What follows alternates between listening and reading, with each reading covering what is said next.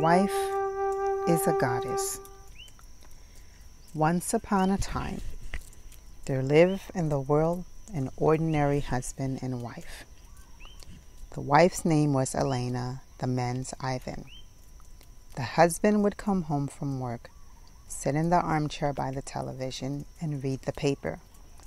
His wife Elena would cook dinner, she would serve her husband dinner, and grumble that he did nothing useful around the house and made too little money. His wife grumbling would irritate Ivan.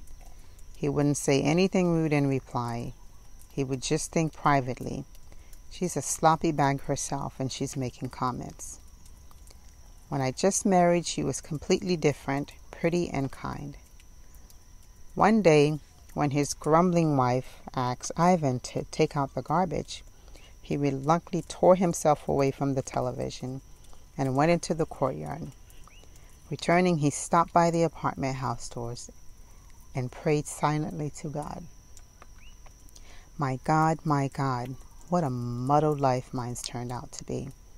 Am I really going to have to live my whole life with a wife like this? Grumbling and ugly to boot.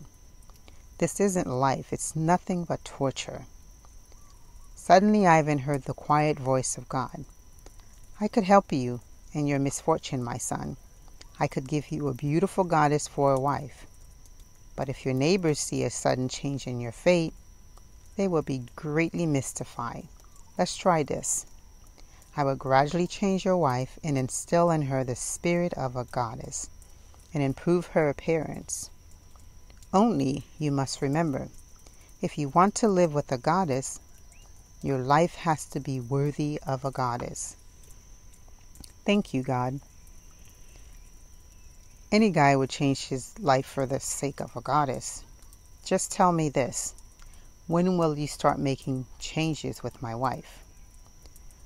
I will change her a little right now, and every minute I will change her for the better. Ivan walked into his apartment, sat down in his armchair, pick up the newspaper, and turn the television back on. Only he didn't feel like reading or watching a movie. He couldn't wait to look. Had his wife indeed changed just a little? He stood up, opened the kitchen door, leaned against the door jamb, and began to examine his wife closely. She was standing with her back to him, washing the dishes left after dinner. Elena suddenly felt his gaze and turned toward the door. Their eyes met. Ivan examined his wife in thought. No, no changes in my wife. Seeing her husband's unusual attention and understanding nothing, Elena suddenly fixed her hair and her cheeks flushed when she asked, What is it, Ivan? Why are you looking at me so closely?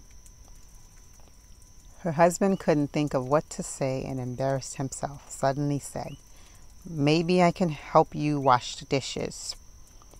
For some reason, I thought. The dishes? Help me?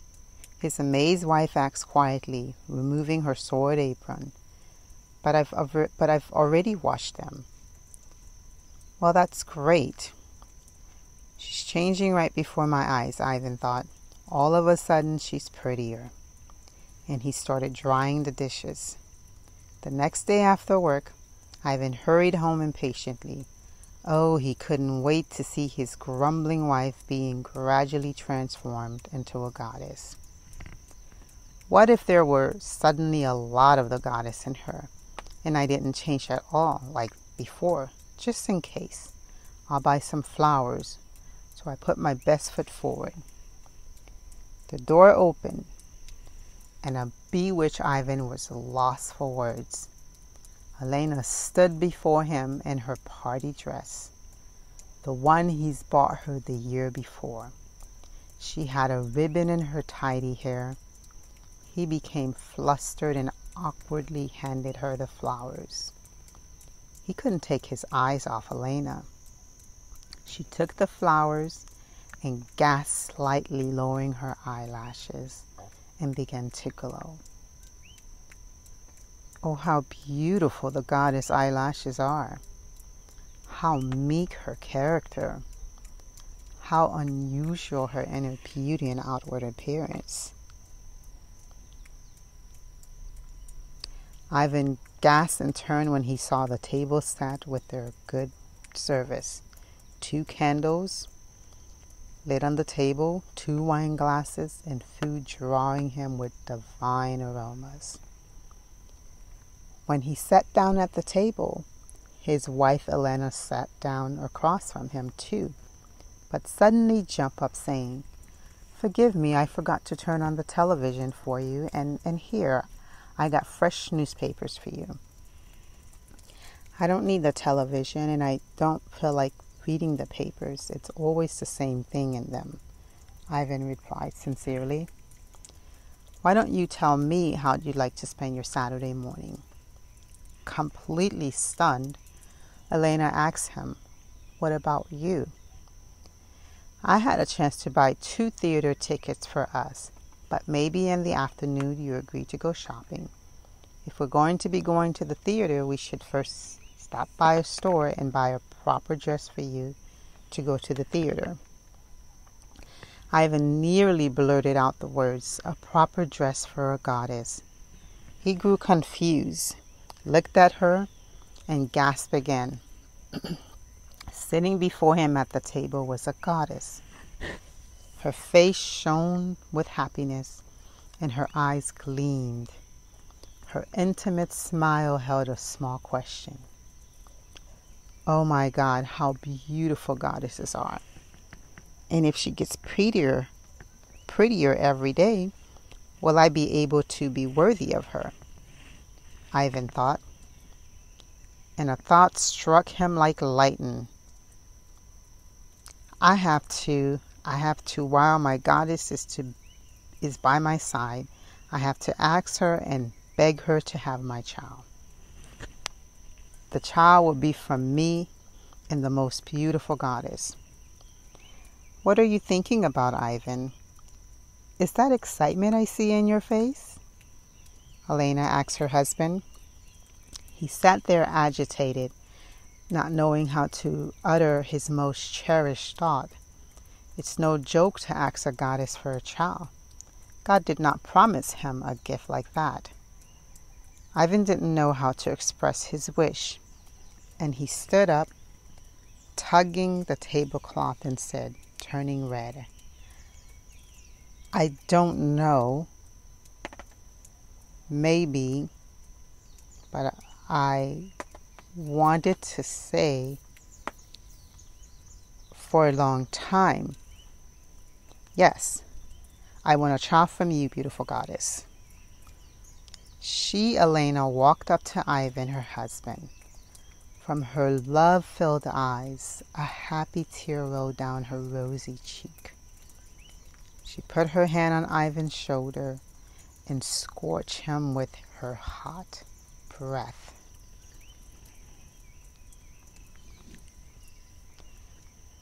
Oh, it was night. Now it is morning. This is day. Oh, how beautiful life is with a goddess, thought Ivan as he put a coat on his second grandson to go for a walk.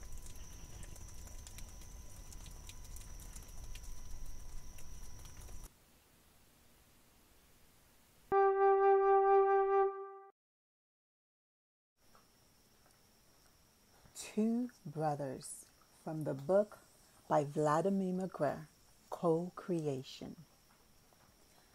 Once upon a time, when doesn't matter. There lived a man and wife. For a long time they had no children.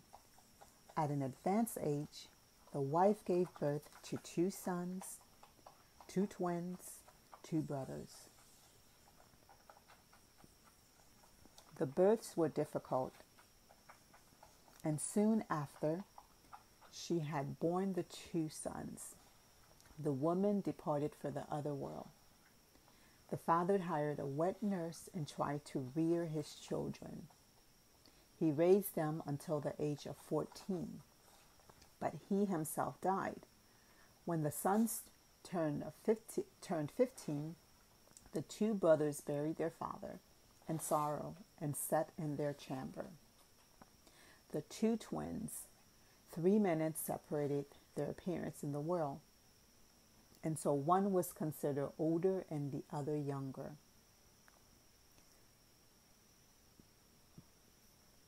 After a mournful silence, the older brother spoke.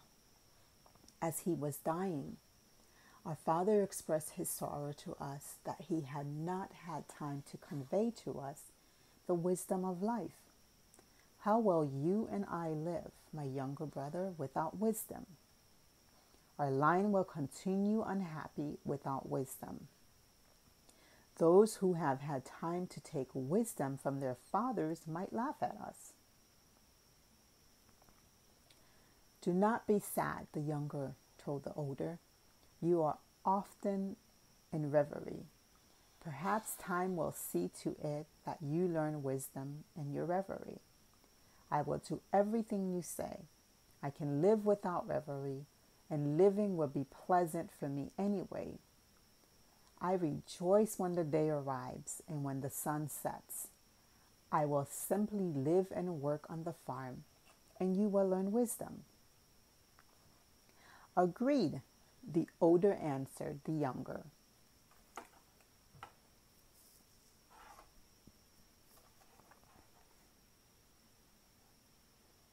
Only wisdom, only wisdom cannot be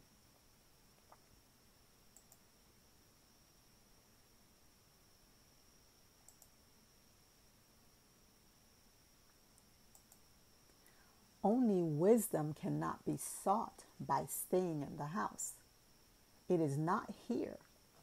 No one has left it here. No one will bring it to us here. But I have decided I am the older brother, and I myself must find everything that is wise in the world for us both, for our line, which will live on down the ages. I must find it, bring it to our home, and give it to us and to our descendants. I will take everything of value our father left us and go all around the world to all the wise men of different countries. Learn all their sciences and return to our dear home. Your journey will be long, the younger brother said compassionately. We have a horse. Take the horse and wagon. Load as much good as you can, so you will be less poor on the road. I will stay home and await the wiser you. The brothers parted for a long time. Years passed.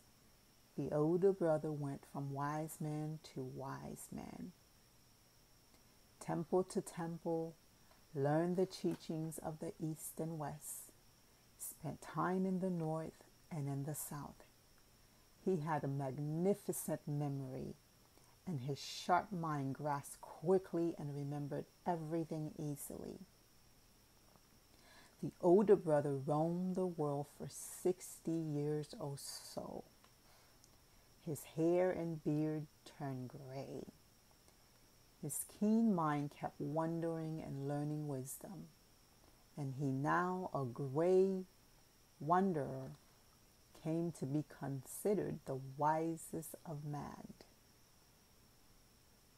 A throng of disciples followed him. He generously propagated his wisdom to their keen minds. Both young and old heeded him with delight. Great fame preceded him, in forming settlements on his path of the wise man's great coming.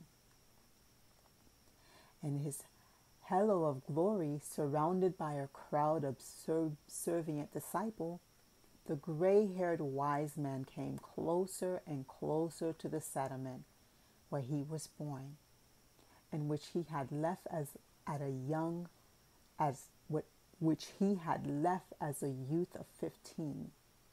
Sixty years before, all the people from the settlement came to meet him and his younger brother, also with gray hair, ran out to greet him, rejoicing, and bowed his head before his brother, the wise man.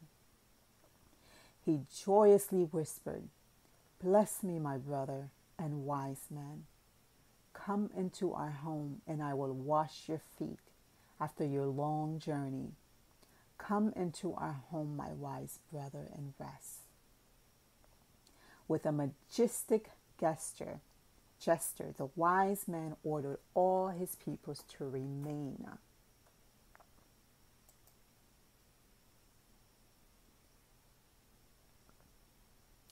To remain on the hillock, accept the gifts of those who met them, and hold wise decision, discussions.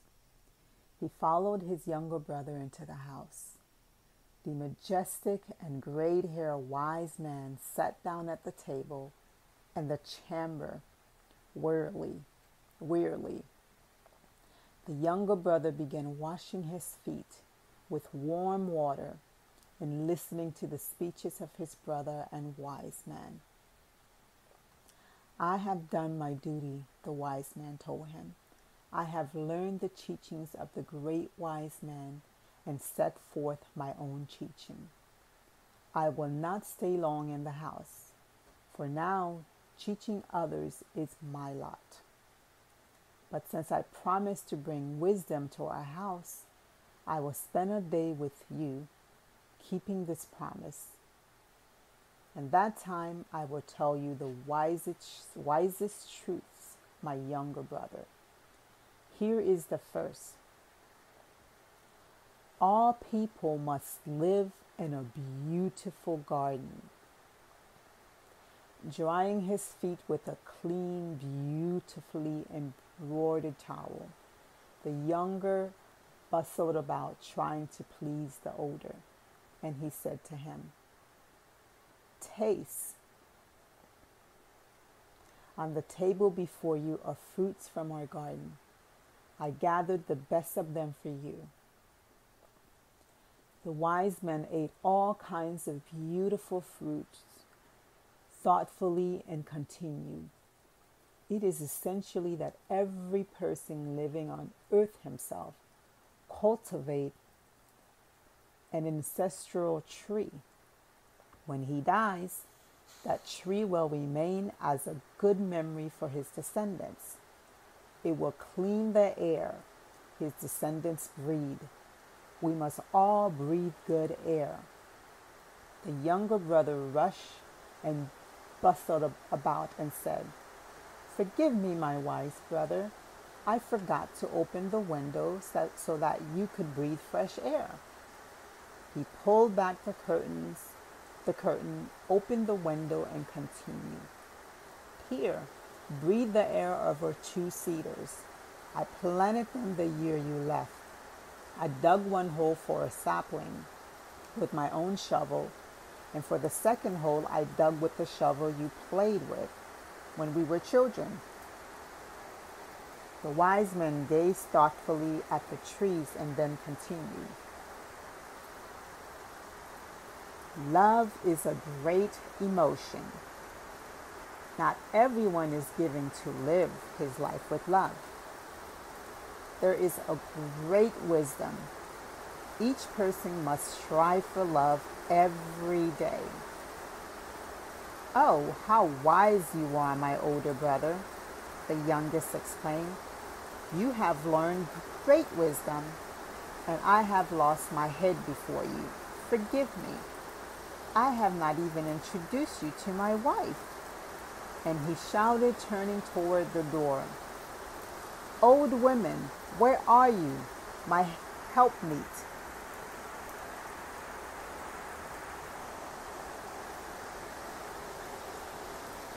Here I am, a cheerful woman appeared in the doorway carrying steaming pies on a platter. I was held up with the pies. She placed the pies on the table, and the cheerful old man made a funny curtsy before the brothers. She walked up close to the younger, her spouse, and said in a half whisper, But the older brother heard the whisper. And now, you man, forgive me. I am going now. I have to lie down.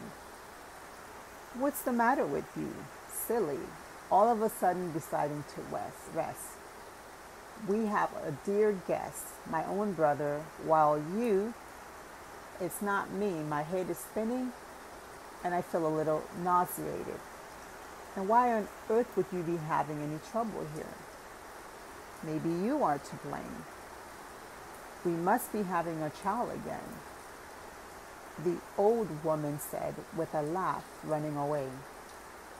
Forgive me, my brother. The younger brother apologized in embarrassment to the older. She doesn't know the value of wisdom. She was always cheerful, and in her old age, you see, she remains a cherry sword. The thoughtful wise men paused a little longer. The sound of children voices interrupted his, rev- his reverie.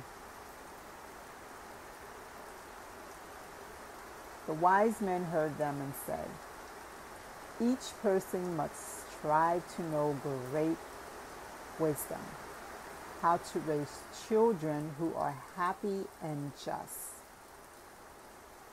No, wise brother, I thirst to make my children and grandchildren happy. Here you see them coming in, my noisy grandkids. Two boys, no older than six, and a little girl of about four were standing in the doorway arguing. Trying to get them to settle down, the younger brother told them hurriedly, Tell me quickly, what has happened to you, noisy children, and don't keep us from our conversation. Oh, the smaller boy exclaimed. One grandfather's turn into two. Which is ours and which isn't? How can we tell? Here's our dear granddad, isn't it clear? And the little granddaughter ran up to the younger of the brothers, pressed her cheek to his leg, ruffled his beard, and prattled. Granddad, dear, Granddad, I alone rushed to you to show you how I've learned to dance, and my brothers tagged along.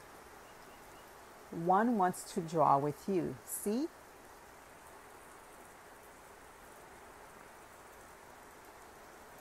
He bought his board and chalk. The second brought his pipe and horn, and he wants you to play the horn and pipe for him. But I decided to come to see you first. Tell them all that. Send, send them back where they came from, Granddad. No, I came to draw first. Then my brother decided to come with me to play the horn, said the grandson, with the thin piece of board.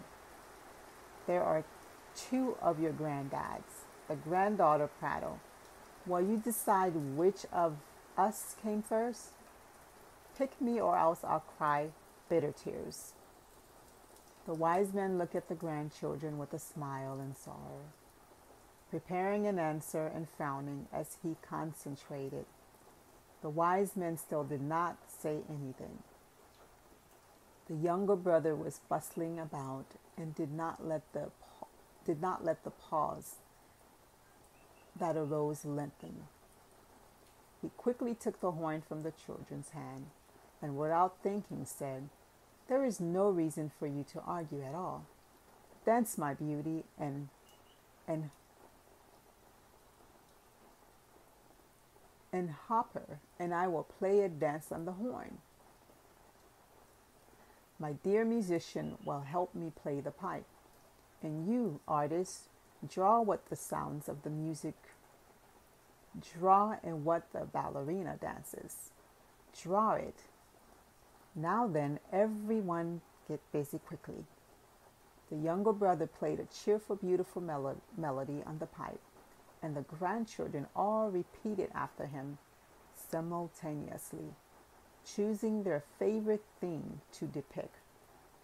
The future great musician tried not to lag behind on the melody on the pipe. As a ballerina, the little girl hopped, turning red, joyously depicting her dance. The future artist joyfully drew his picture. The wise man was silent. The wise man learned. When the merriment was over, he stood up and said, Remember, my younger brother, my father's old ch- chisel and hammer. Give them to me. I want to chisel our main lesson in stone. I am leaving now. I probably will not return. Don't try to stop me and don't wait. The older brother left. The great hair wise man and his disciples walk up to the stone. The path went round that stone, the path that called the seeker of wisdom to distant lands away from his own home. The day passed. Night came, and the gray haired wise man hammered and chiseled. An inscription on the stone when the exhausted gray hair when the exhausted gray haired old man finished, his disciples read the inscription on the stone. All you seek, wanderer you carry with you, you will find nothing new, and you will lose with every step.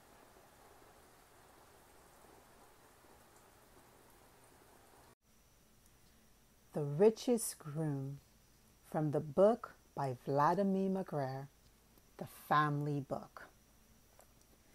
Two neighbors lived in a certain village. Their families were friendly. They worked to their delight on their own land.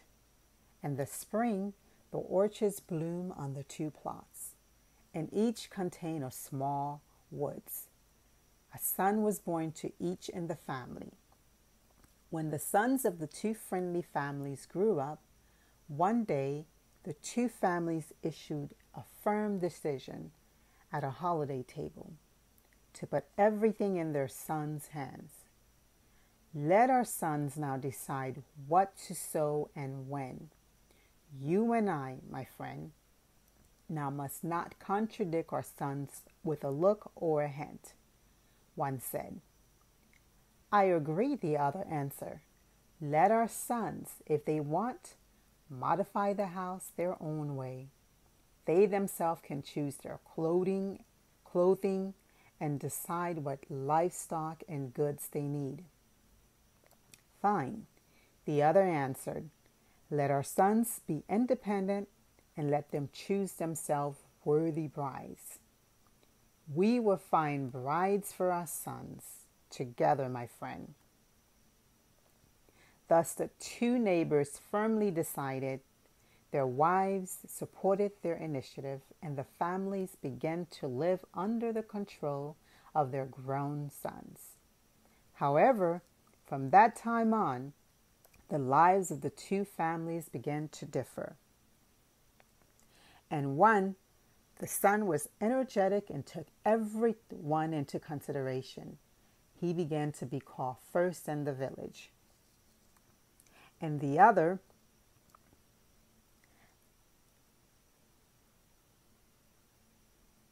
In the other, the son seemed pensive and sluggish, and people began to call him the second. The first cut and hauled off the young forest the father had planted to market. He bought a truck to replace the horse and a small tractor. The son of the first neighbor was considered enterprising the entrepreneur determined that in the coming year the price of garlic was going to rise sharply. He wasn't wrong. He pulled out all the plantings from his land and sowed a field with garlic. Since they had given their word, the father and mother tried to help their son in everything. The family sold the garlic at a large profit they began to build a huge house of modern materials with a hired crew. Still, the son entrepreneur would not let up and calculated from morning until night what would be most profitable to plant in the field coming come spring. By winter end, he had determined that most profitable of all would be would be to sow the field in onions. Once again, he sowed his crop profitably, bought himself a car, and thought himself elegant. One day, the sons of the two neighbors met on the road through the fields. One drove a car, the other a wagon, harnessed to a frisky mare. The successful entrepreneur stopped his car, and a conversation took place between the two neighbors. Look, neighbor, I'm driving an elegant car, and you're still getting around in a cart. I'm building a big house, and you're living in your father's old one. Our fathers and mothers were always friends, and I too want to give you neighborly help if you want. I'll suggest what's most profitable to sow you're filled with. Thank you for your desire to be helpful, the second neighbor answered from his cart but I treasure only freedom for my thoughts. Then I will not encroach upon the freedom of your thoughts. I only sincerely want to help you. Thank you for your sincerity, too, good neighbor. The inanimate, the car you're sitting in, for instance, takes away from freedom of thought. How can a car take that away? it can easily overtake your wagon. And while you're still riding to town, I can accomplish my business, all thanks to my car. Yes, your car can overtake my wagon, of course, but at the same time, you are sitting behind the wheel and forced to hold on continuously, and you are constantly fiddling with switches as you go.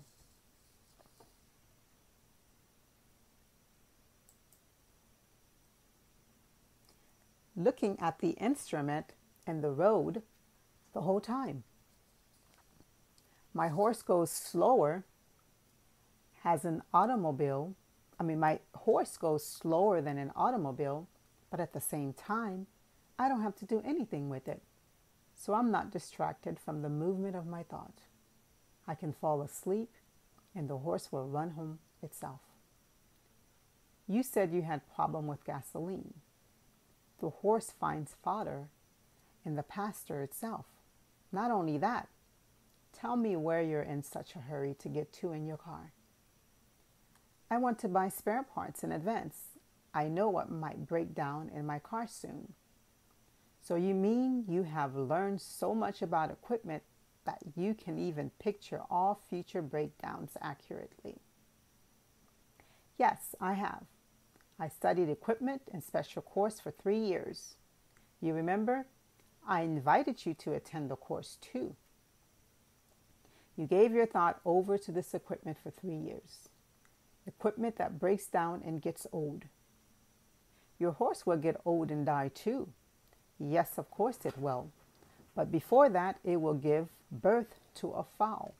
It will grow up and I will ride it. The animate serves man forever, but the dead only cuts his time short. The whole village thinks your opinion strange. Everyone considers me successful and rich, and you living merely at the expense of your age father. You haven't even changed the look of the trees and bushes, a tiny bit on your father's land. But I love them. I try to understand the purpose of all of them and the connections between them. I encourage those starting to wither with my gaze and touch. Now everything will bloom this spring in accord, by itself requiring no intervention, merely thirsting to offer up its fruit by summer and fall. Truly, my friend, you are an odd one, the, the entrepreneur sighed. You were always walking around and admiring your homestead, your orchard, and flowers. You say in this way that you are presenting your thoughts with freedom. Yes. But why do you need free thoughts?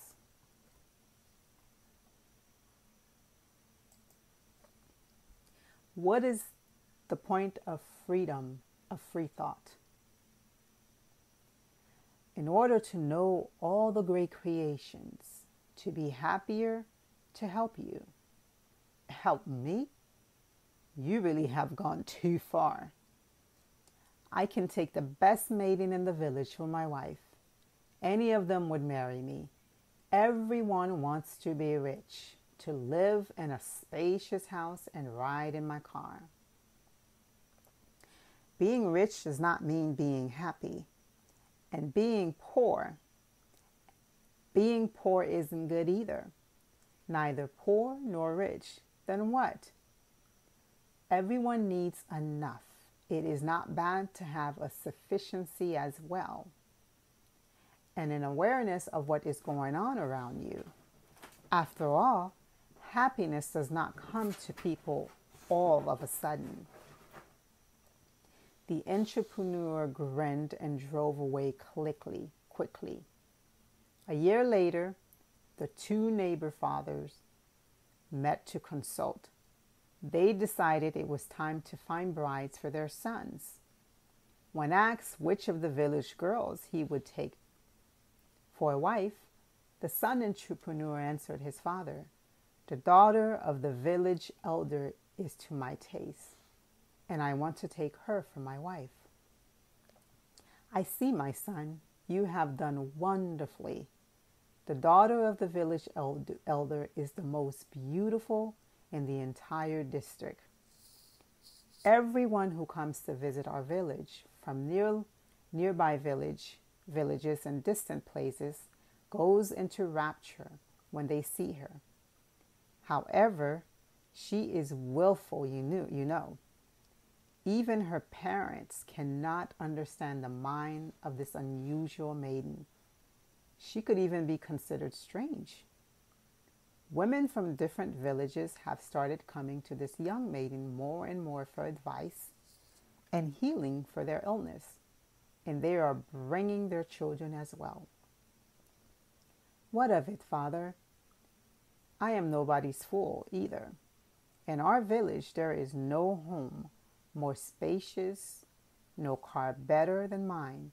In addition, I have twice seen her look at me long and hard. The second father asked his son the same question Who in the village is most to your liking, son? The youth replied, I love the daughter of the village elder, father. What does she think of you, my son?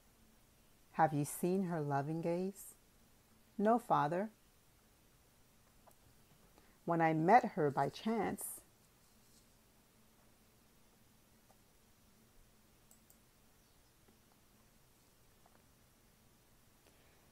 the maiden lowered her eyelashes. The two neighbors decided to go together to propose marriage for their sons. They came and sat down in a dignified way. The village elder called in his daughter and said to her, Here, my daughter, matchmakers have come to see you. From two young men wishing to take you for a wife. We have come to a joint decision to let you determine which of the two is your chosen one. Can you tell us who is right away? Can you tell us who is right away, or will you take until dawn to think it over? I have spent quite a few dawns in dreams, Father, the young maiden said softly, and I can give you an answer right away. Then speak. We are all waiting impatiently. The beauty answered the matchmakers who had come as follows Thank you, Father, for your attention. Thank you to the matchmakers, son, for their desire to join their life into mine.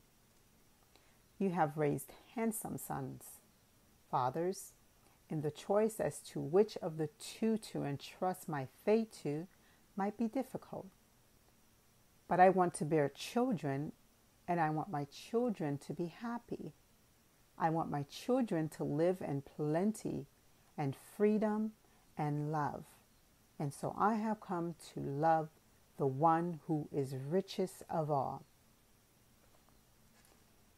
The entrepreneur's father rose proudly. The entrepreneur's father rose proudly. The second father sat with downcast eyes. But the maiden walked up to the second father, knelt before him, and said, without raising her eyelashes, I want to live with your son.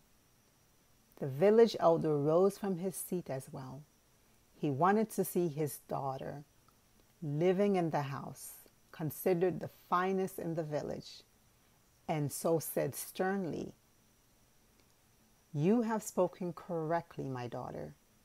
Your prudence has brought joy to a father's heart.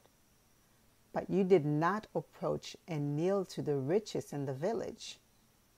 The richest here is the other. Here he is. The elder, pointing to the entrepreneur's father, added, Their son has built a spacious house. They have a car, a tractor, and money. The maiden moved closer to her father. Naturally, you are right, dear Papa, but I was talking about children.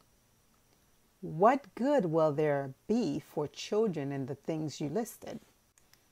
The tractor will break down while they are growing up. The car will rust and the house will fall into decay.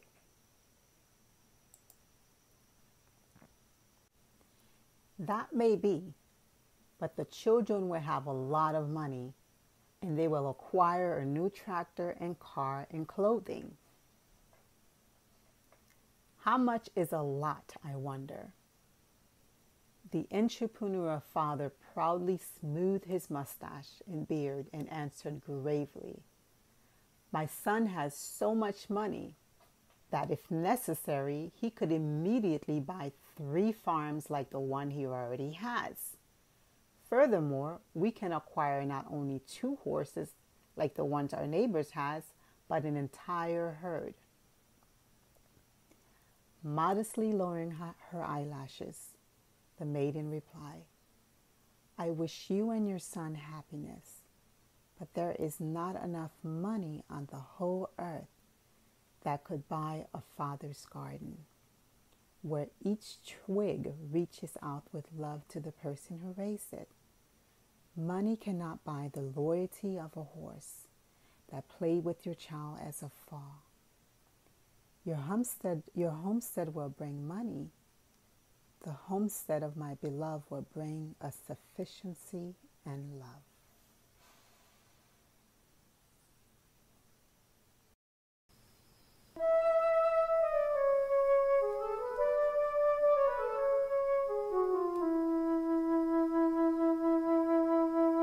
The Best Place in Heaven from the book by Vladimir Megre, the family book.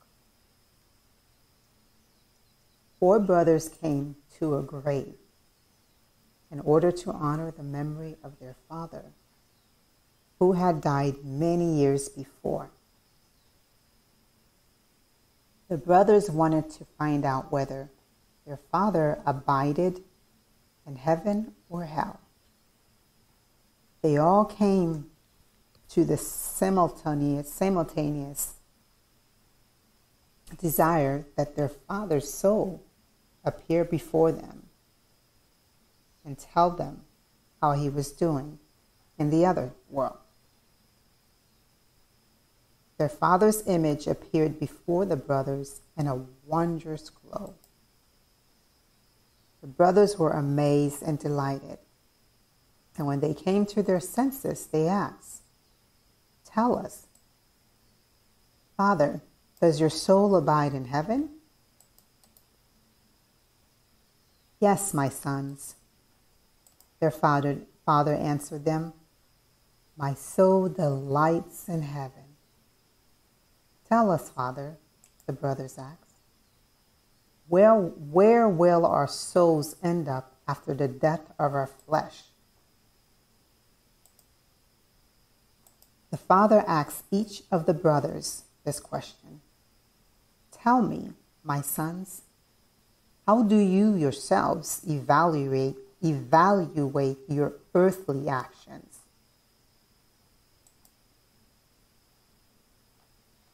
The brothers answered their father in turn. The oldest son said, I became a great commander, father. I defended our native land from enemies and no hostile foot entered it. I never oppressed the poor and weak. I tried to protect my soldiers and always honored God because I hoped to get to heaven. The second son answered his father I became a famous prophet. I preached to people about good and taught them to honor God. I reached great heights among those like me and high rank.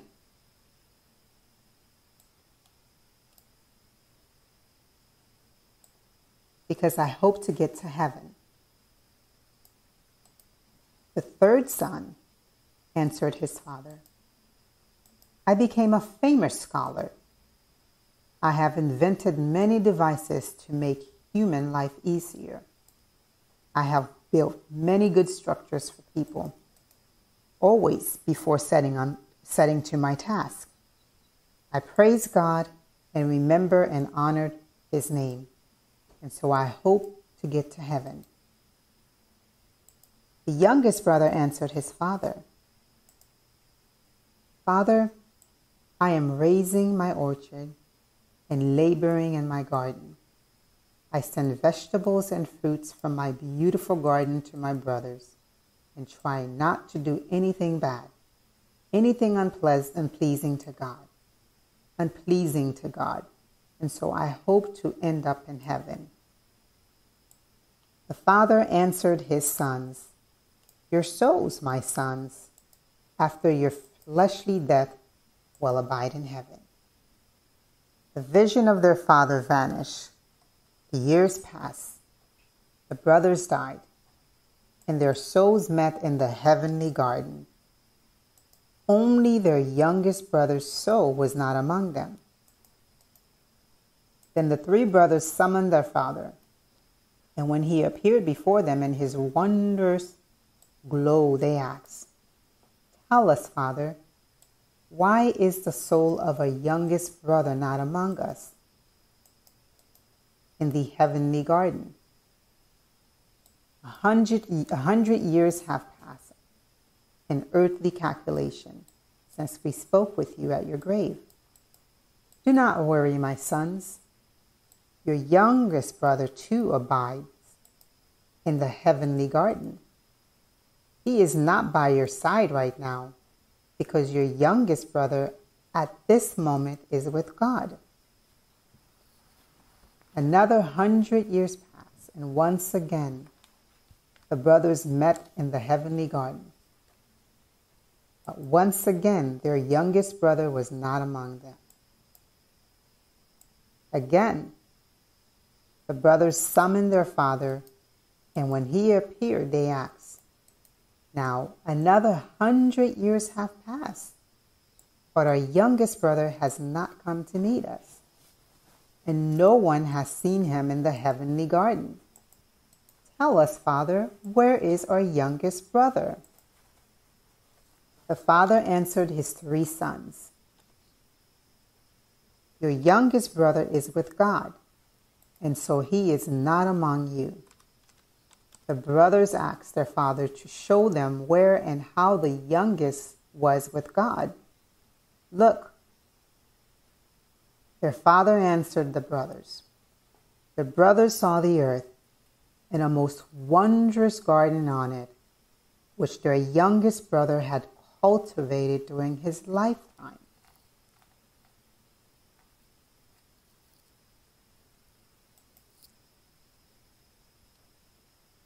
In the wondrous earthly garden, your youngest brother, looking younger, was explaining something to his child. His beauty of a wife was busy doing something nearby.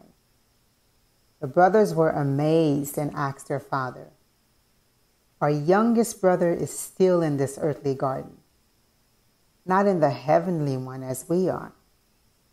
What is he guilty of before God?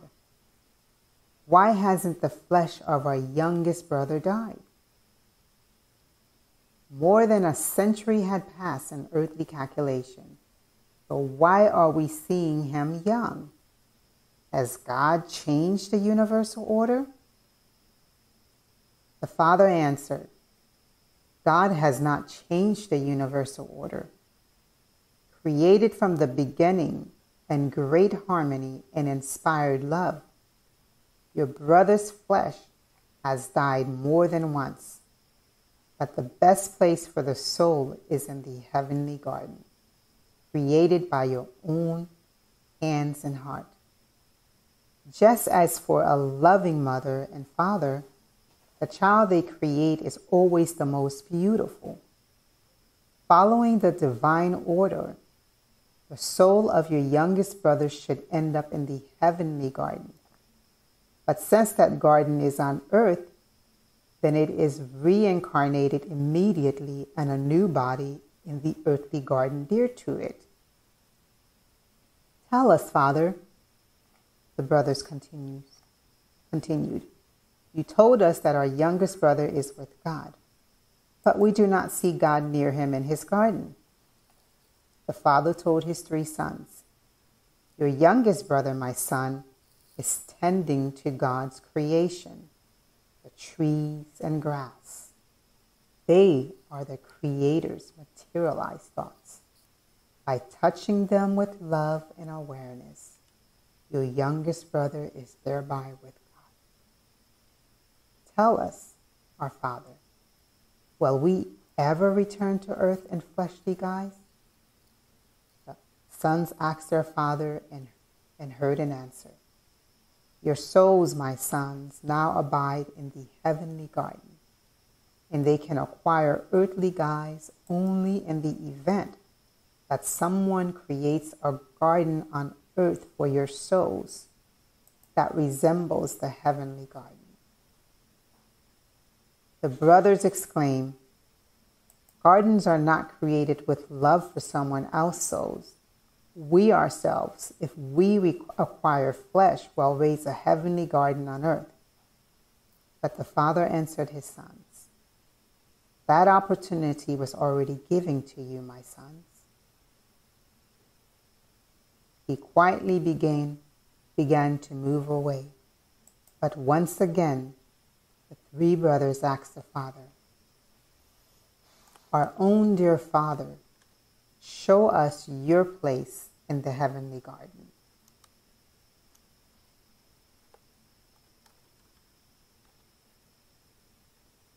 Why are you moving away from us? The father stopped and answered his three sons. Look,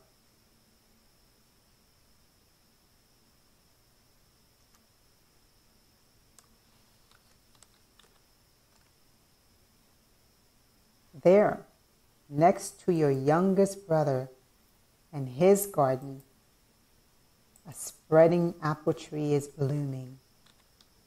Under the apple tree is a small cradle, and in it, the beautiful little body of an infant has already moved its little hand.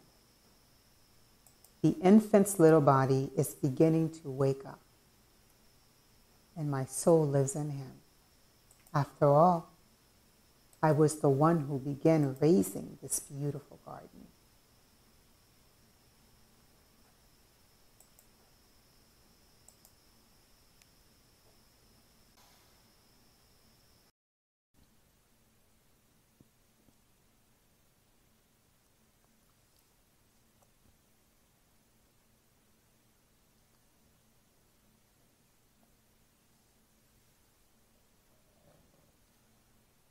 Which temple shall God be in? From the book by Vladimir Megre, The Family Book. The people in one of the many settlements on earth were living happily. There were 99 families in this settlement. Each of the families had a beautiful house decorated with fanciful carving the garden around the house bore fruit every year. It raised the vegetables and berries itself. People greeted the spring joyfully and took pleasure in the summer. The sequence of cheerful, friendly holidays gave birth to songs and dances. In winter, people rested from the daily rejoicing and contemplating the heavens, they tried to decide. They tried to decide whether the stars and moons could be woven into better patterns than they now had. Once every three years in July, these people gathered together in a glade. At the edge of their settlement, once every three years, God answered their questions and an ordinary voice, invisible to the gaze of ordinary eyes. God was tangible to each and every person.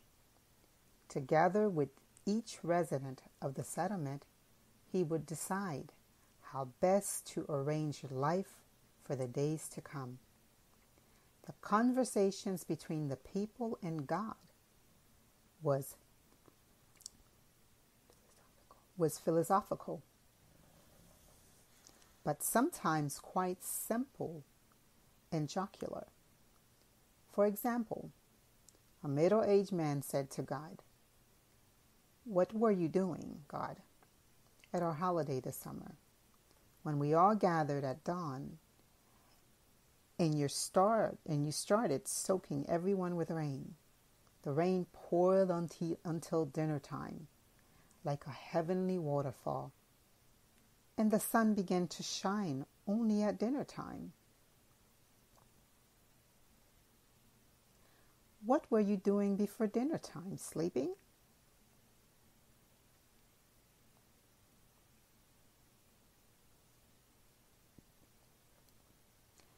Not sleeping, God replied. Since dawn, I had been thinking how best to act so that the holiday would come out wonderfully well. I saw how some of you going to the holidays were too lazy to wash with pure water. What should I do? They would spoil the holiday with their look. So I decided first to wash everyone and then scatter the clowns and let the sun's ray caress your body, your bodies. Well, all right. If that's how it was, the man agreed, stealthily brushing a crumb of food from his whiskers and wiping the cherry stain from around his son's mouth. Tell me, God, a man, an elderly, thoughtfully philosopher asked God, there are many stars, star, stars above us in the sky. What does their fanciful pattern mean? Can I, if I choose a star that pleases my soul, when I grow weary of earthly life, settle there with my family?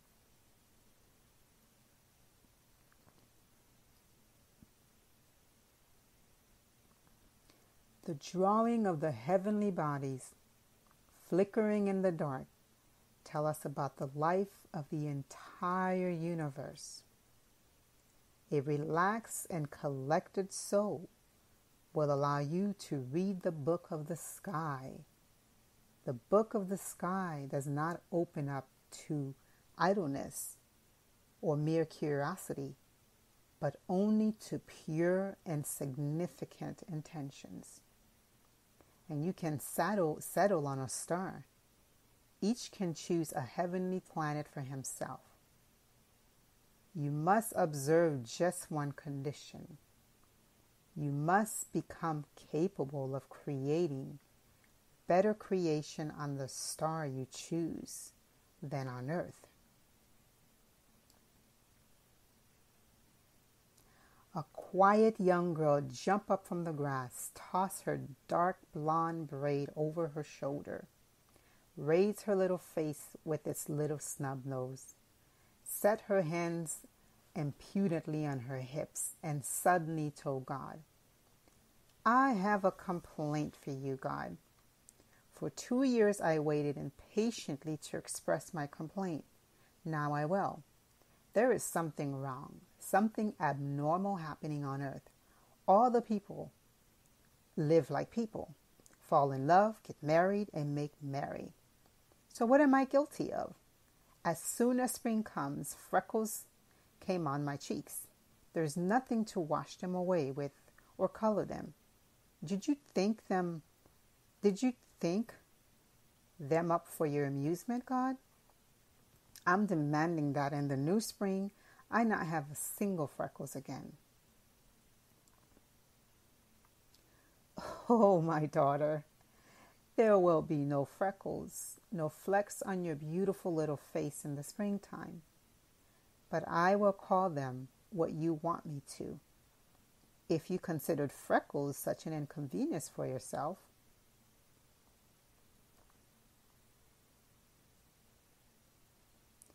I will take them away by spring.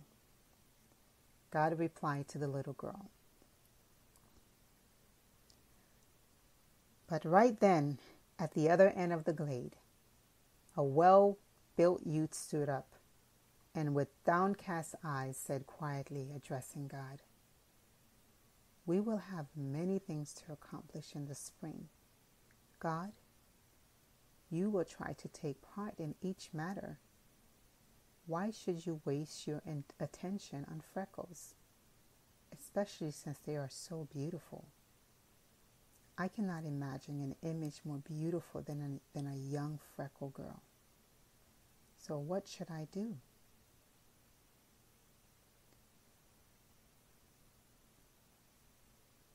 God said thoughtfully, The maiden asks, and I promise her.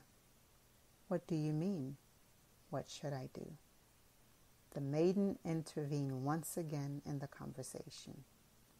The people say you should busy yourself with more important matters than freckles. But if you, but if we aren't talking about flecks, then I say you can add two, like this, for symmetry, here on my right cheeks. God smiled God smiled. This could be seen from the fact that the people smiled. Everyone knew that soon a new and beautiful family would be born in their settlement. Thus, the people lived with God in their amazing settlement. One day, 100 wise men came to see them. The joyful residents always greeted visitors with all kinds of food the wise men tasted wonderful fruits and admired their unusual taste. Then one of them said, O people, your life knows its measure and is beautiful. There is plenty and comfort in each house, but no culture in your communication with God. There is no glorification or worship of the divine of the of the divinity. But why? The alarmed residents attempted to object. We communicate with God as we do to each other. We communicate once every three years, but every day he rises as the sun in the garden he bustles around each house from spring on as the bee. In winter, he covers the earth as snow. His affairs are clear to us, and we were glad each time. The way you have set this up is wrong, the wise man said. We have came we have come to teach you how to communicate with God. all over the world. Palaces and temples have been built for him. And them people can communicate with God every day. And we are going to teach you.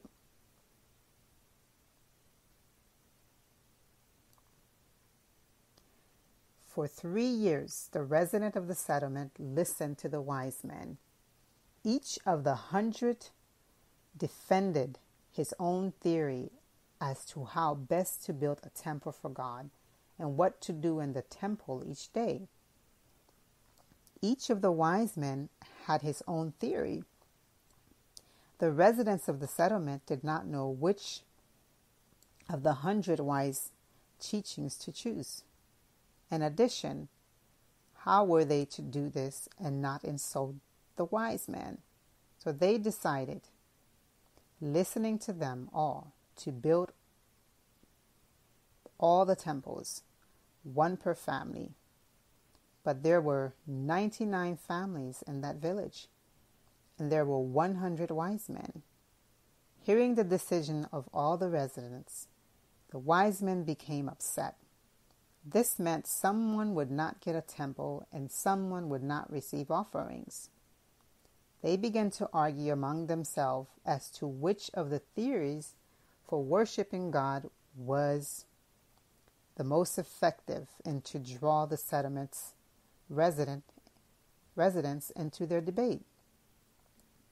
The debate heated up, and for the first time in many years, the residents of the village forgot about their communication of their time for communicating with God.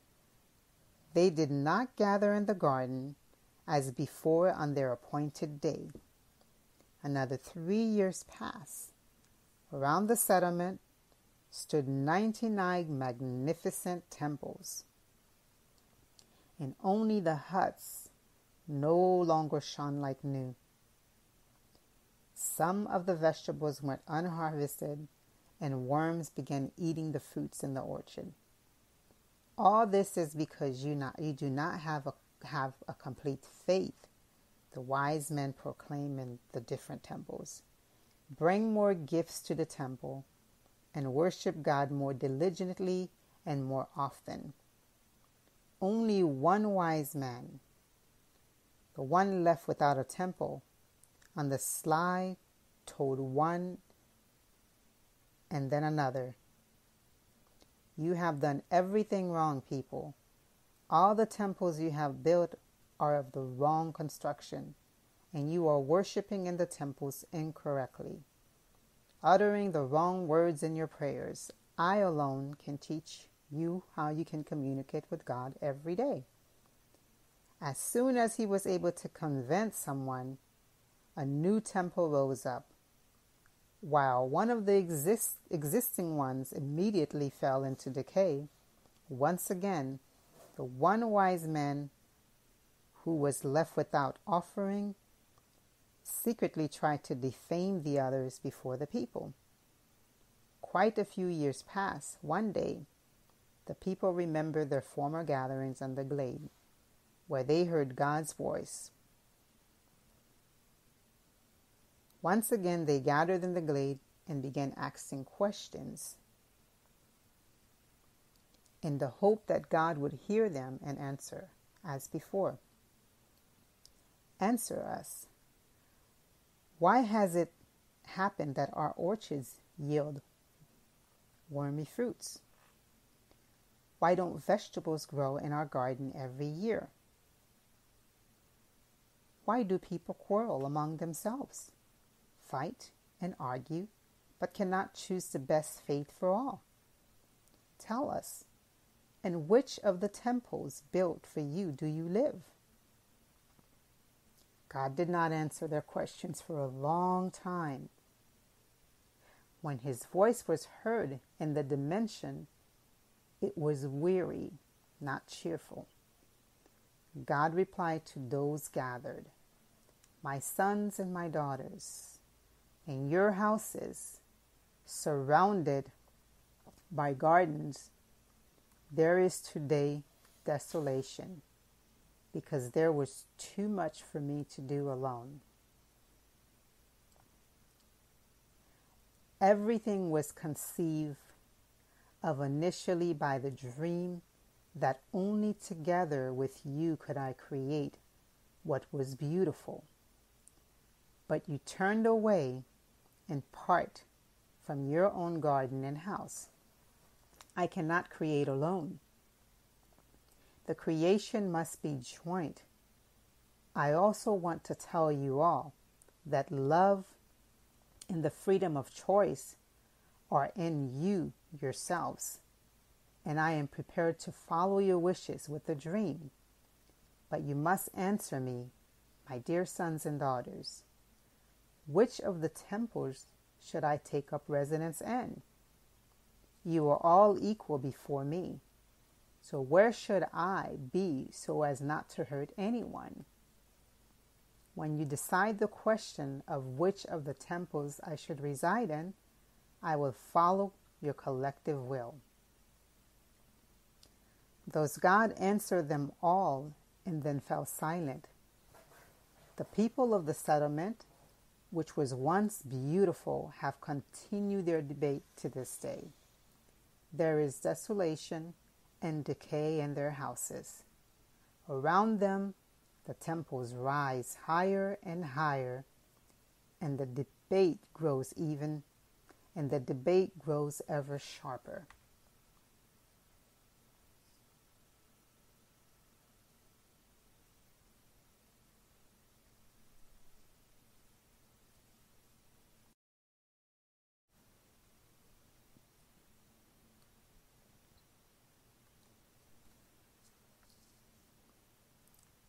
Demon Cracy. From the book by Vladimir Megre, The New Civilization.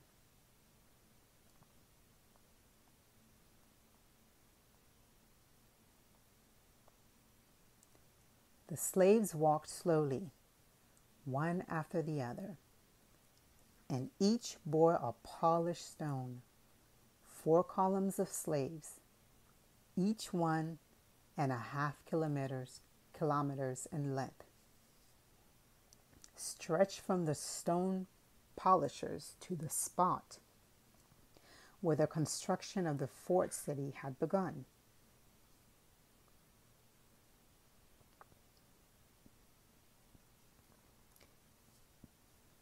Sentries guarded the columns, with one armed sentry soldier assigned to each 10 slaves. At some distance from the walking slaves, on the summit of a 13 meter high, man made mountain of polished stone, sat Cracy, one of the high priests, for four months now. He had been silently observing all that transpired.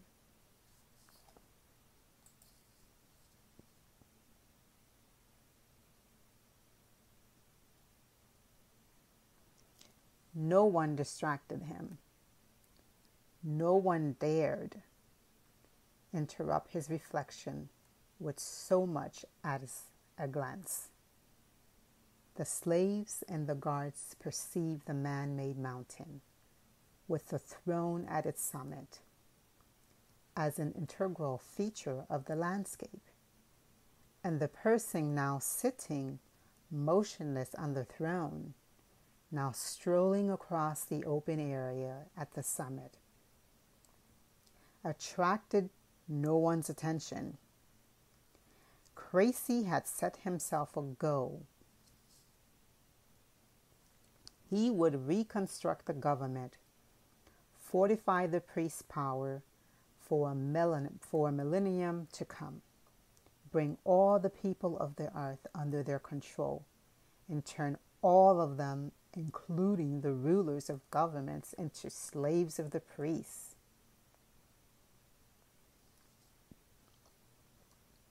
One day, Cracy came down from the mountains, le- leaving his double behind him on the throne.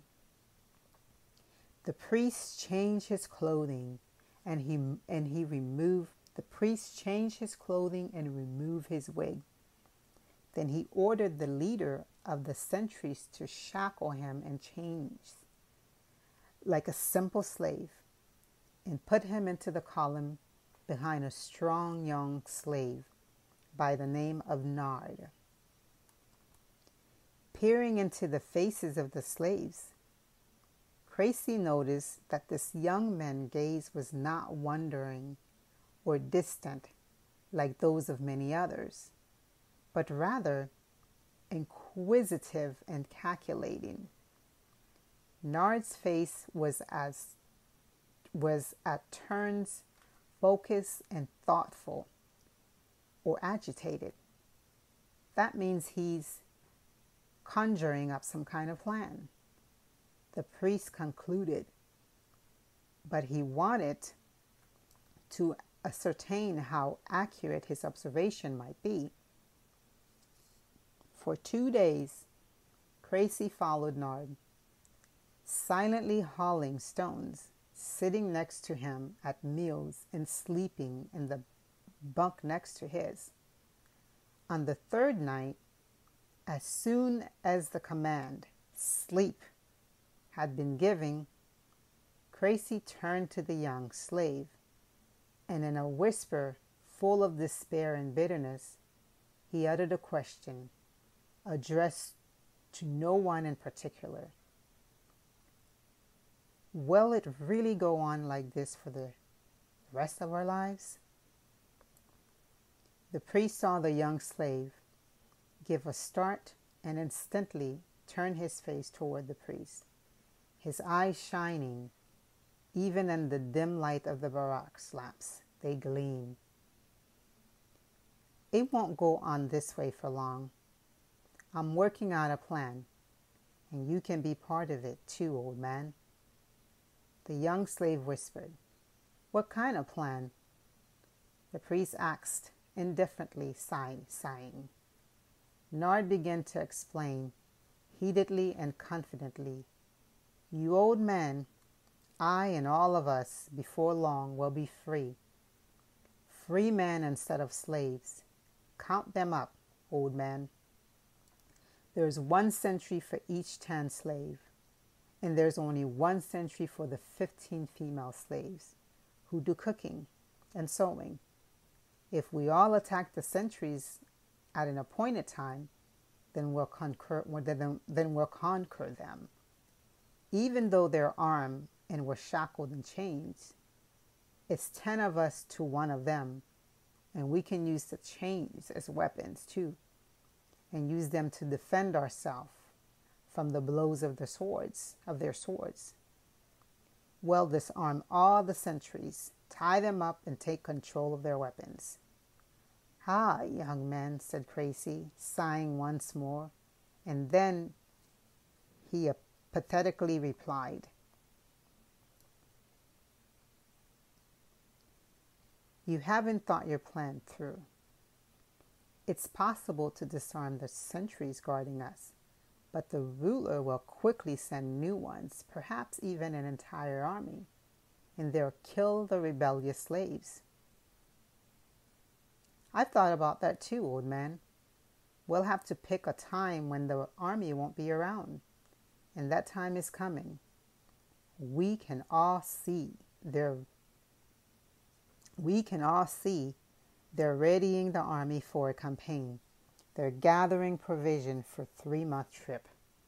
That means that in three months the army will arrive at its destination and engage in combat. It will be weakened by the battle, but it will emerge victoriously and will seize a great number of new slaves. New barracks are already being built for them we will need to begin disarming the sentries as soon as our ruler's army enters into battle with the other army. It will take messengers a month to deliver the message that they need to return immediately. It would take the weakened army no less than three months to return. In the space of these four months, we'll be able to ready ourselves to meet them. There will be no fewer of us than there are soldiers in the army. When the captured slaves see what's happening, they'll want to side with us. I've planned everything out just right, old man. The priest answered, now in an encouraging tone. It's true, young man. With your plan and your thoughts, you can disarm the sentries and gain victory over the army. And then he added, But what will the slaves do next? And what will happen to the rulers? The sentries and the soldiers. I haven't given that much thought. Once again, no, I haven't given that much thought. One thing has occurred to me so far. All who were once slaves will be non slaves. All who today are non slaves will be slaves. Nard answered somewhat tentatively, as if thinking out loud. And what about the priests? Tell me, young one. Once you attain victory, will you count the priests as slaves or non slaves? The priests? I haven't given that much thought either. But what I would suggest at the moment is that let the priests remain as they are. Slaves and rulers alike listen to them. They may be difficult to understand at times, but I think they're harmless. Let them go ahead and tell us about the gods, but we ourselves know the best way to live our lives.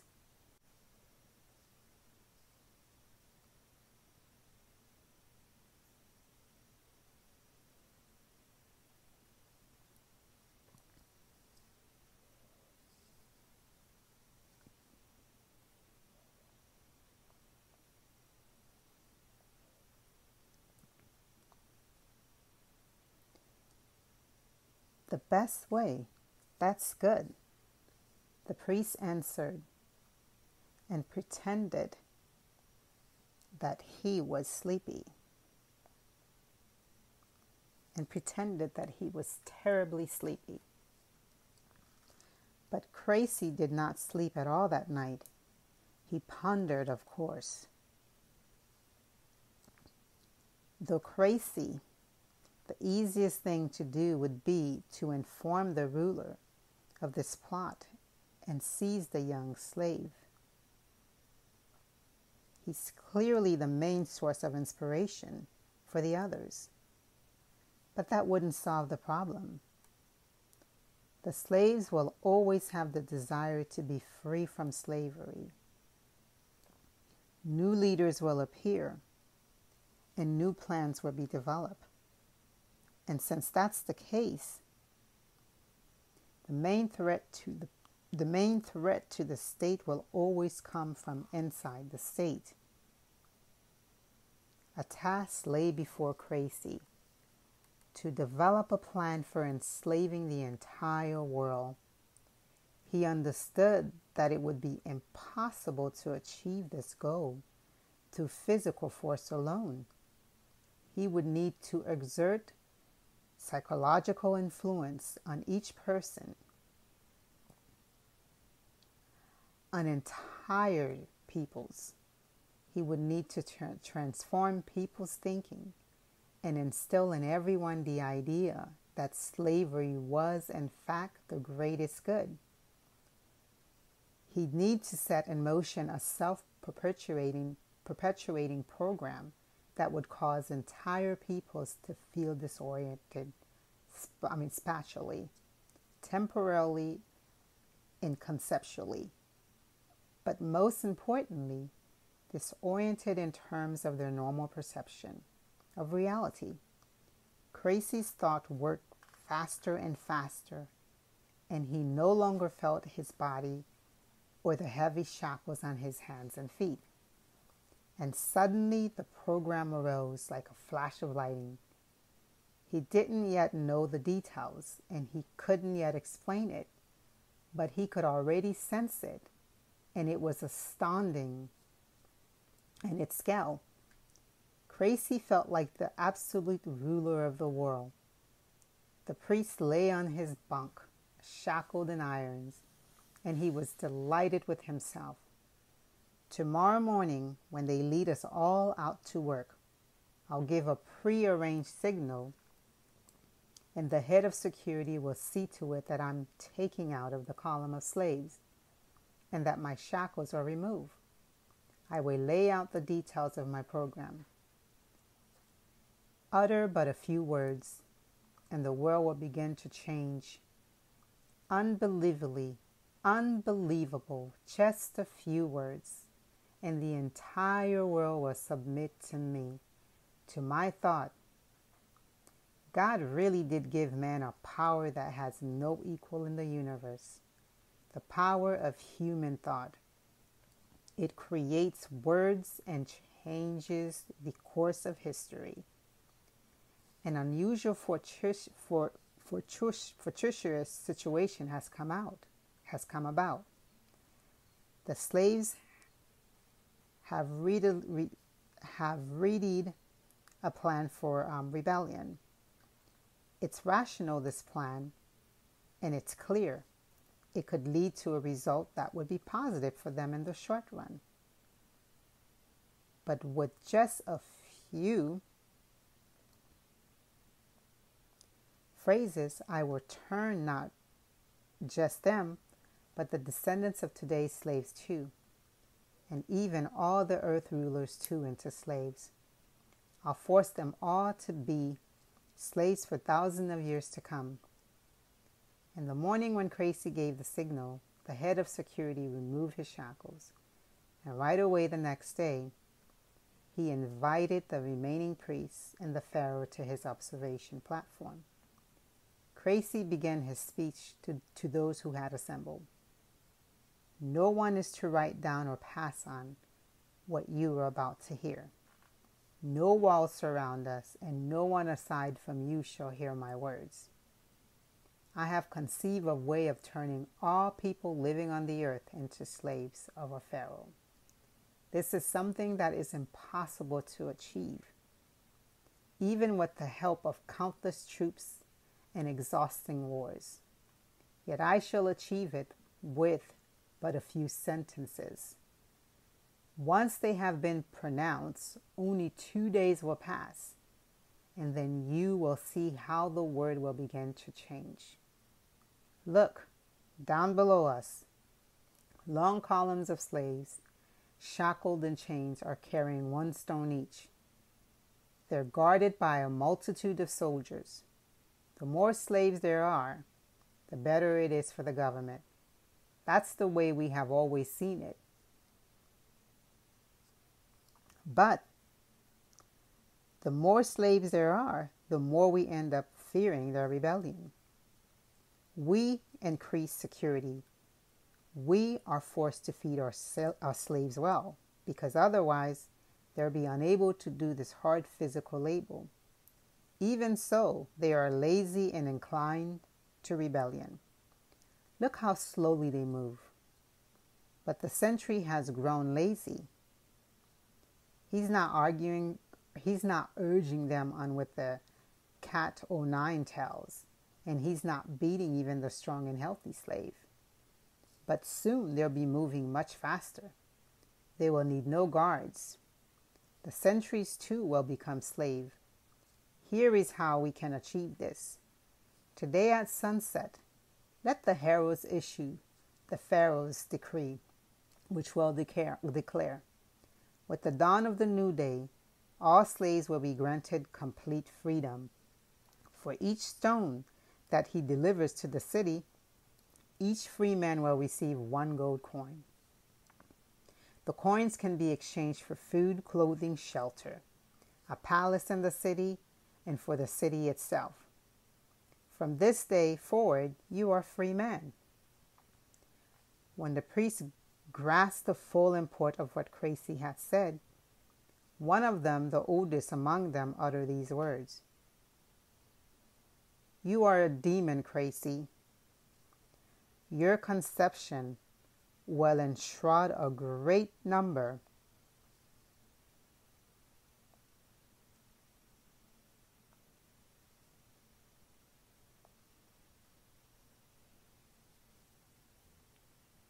a great number of number of the earth's peoples in demonism.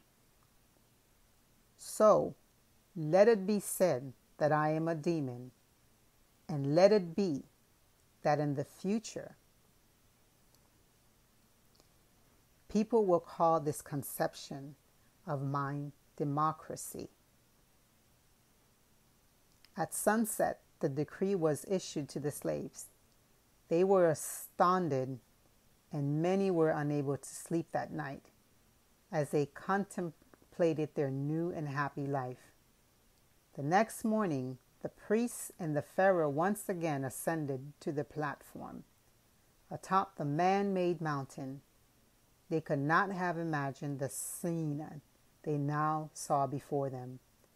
Thousands of people, former slaves, were racing against each other to haul the very same stones as before. Many, the sweat streaming off them, were carrying two stones each. Others carrying one stones were running along, kicking up the dust. There were also several sentries hauling stones. These people who now thought of themselves as free after all, their change had change had been removed, were striving to acquire as many of the coins they were lusting after as possible, so they could build their happy lives. Cracy spent a few more months on his platform, gazing with satisfaction at what, at what was transpiring below. The changes were immense some of the slaves had united into small groups and constructed carts.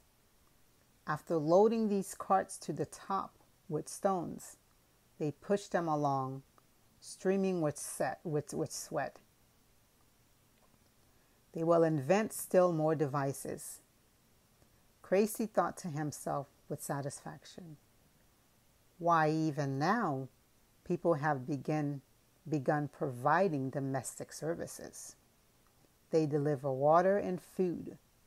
Some of the slaves eat on the go, not wanting to spend time going back to the barracks to eat, and they pay those who bring them food out of the coins they earn. And look,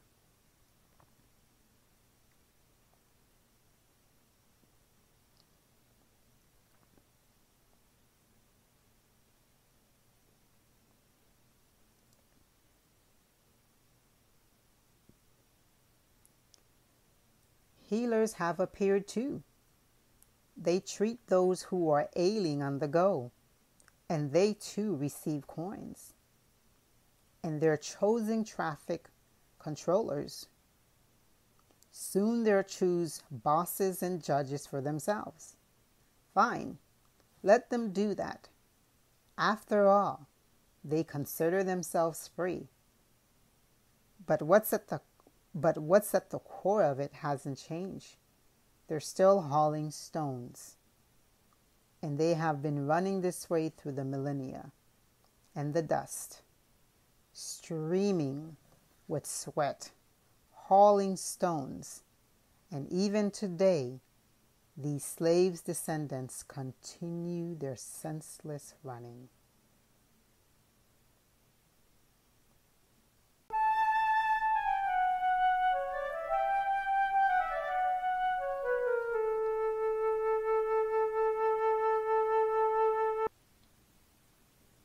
One Candle from Vladimir Megre's appearance at the third annual International Ringing Cedars Festival. A group of people was talking was, was walking along and they came to an abyss. They couldn't turn back. Behind them was a raging torrent of water. Before them an abyss, and an angel came down to them from heaven and said, I will save you. I will now turn into a hot air balloon with a basket. You can all get into it, and I will carry you across the saps. All I ask of you is this if my strength gives out, then each of you must light a candle or a lighter in order to warm the air in the balloon so it can continue its flight. The people got in, and each of them took one of these lighters, and the hot air balloon took flight. It still had a tiny distance to fly to cross the Alps. When the angel began losing strength, and he said, Please light the candle I gave you. And the people stood up and lit their candles. But one person remained sitting in the corner just warming his hands with the lighted candle the angel had given him. The balloon needed the flame of but one more candle to be able to continue its flight and carry all the people away. And the balloon stayed where it was. And here's what happened when even just one person was unable to comprehend unable to light the candle. The energy given to him.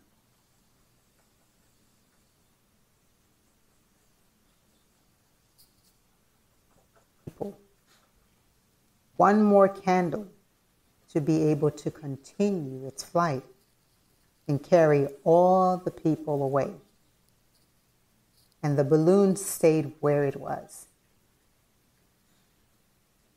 Here's what happened when even just one person was unable to comprehend, unable to light the cannon, the candle. The energy given to him